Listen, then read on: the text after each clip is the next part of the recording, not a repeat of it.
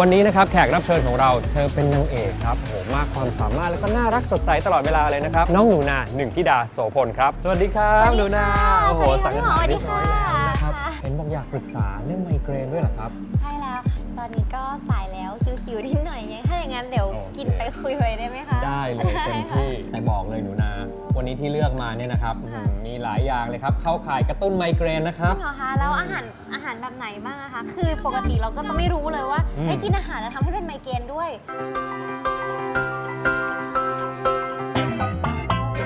Smith.